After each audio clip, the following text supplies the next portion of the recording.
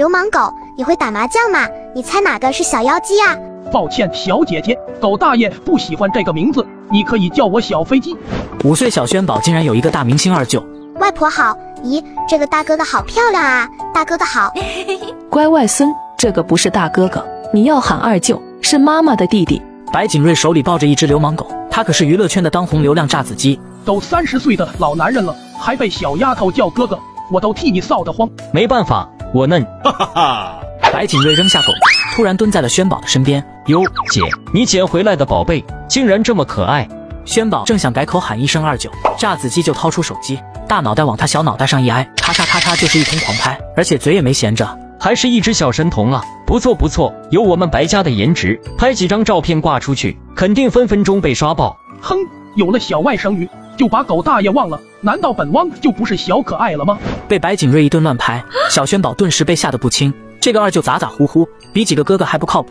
臭小子，你能不能有个当舅舅的样子？白景瑞这才发现小家伙那嫌弃的眼神，于是干脆一把抱了起来。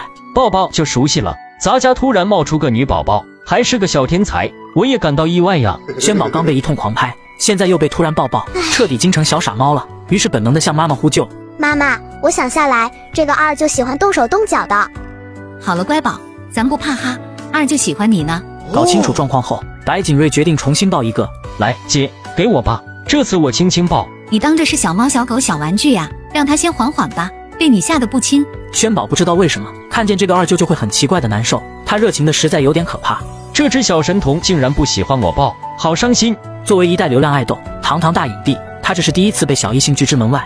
想跟我合影，要我抱抱开我油的人满地都是，没想到被一个五岁小姑娘拒绝了。白影帝初次见面，你像只大灰狼似的，给了小宝贝一个最差的印象分哦。白静怡接着安慰轩宝：“宝贝乖。”二舅不是坏人，是妈妈的弟弟，他很喜欢你的。小憨包看了一眼二舅，又看了看沙发上的流氓狗，感觉狗子比二舅更像好人，于是连忙抱起流氓狗。我抱狗狗去外面，让它一个狗静一敬。轩宝把狗子放在门口的台阶上，然后拿出自己的小麻将和他一起玩了起来。流氓狗，你会打麻将吗？你猜哪个是小妖姬啊？抱歉，小姐姐，狗大爷不喜欢这个名字，你可以叫我小飞机或者汪帅。好的，流氓狗。哇塞，你居然会说话耶！我们村的狗狗只会叫，不会说话。那些土狗子也配和本汪比？不是我鄙视他们，狗大爷可是纯正的高贵品种。可我们村的狗狗会叫，不怕小偷的。那你会叫吗？叫一个我听听。汪汪汪汪汪汪汪汪汪汪！他们是这样叫的吗？不是你这样叫的，你全身掉毛，像个流氓。打麻将也不会叫，也叫不好。外婆不要你了怎么办？你操哪门子心？主人可喜欢本汪了，不过和你畅谈了一下狗生，狗大爷心情很愉快。那个小姐姐，咱们能交个朋友吗？好呀好呀，村里的狗子都是我的朋友，现在又多了一个狗朋友了。怎么感觉怪怪的？此时轩宝突然发现身后有个大人居然站了很久，把他跟狗的这段戏录了下来，并且还弄到了网上。拥有千万粉丝的流量小生，十分钟内竟然发了两次动态。爱豆的外甥女都这么漂亮啊！那不是申家的申痛申乐璇吗？我的天啊！爱豆居然是小申痛的舅舅，爱了爱了！旁边那只傻狗真丑，快滚一边去！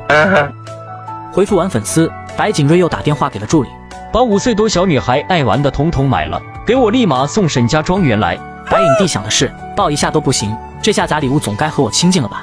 在线等，如果快速有效的让女宝宝喜欢上，果不其然，话题迅速引爆，很快经纪人就打电话过来了。爷我求你了，别再炸微博了。我每天处理各种状况，已经焦头烂额了。外甥女确实很可爱，咱能藏着掖着点吗？你不怕有人偷娃吗？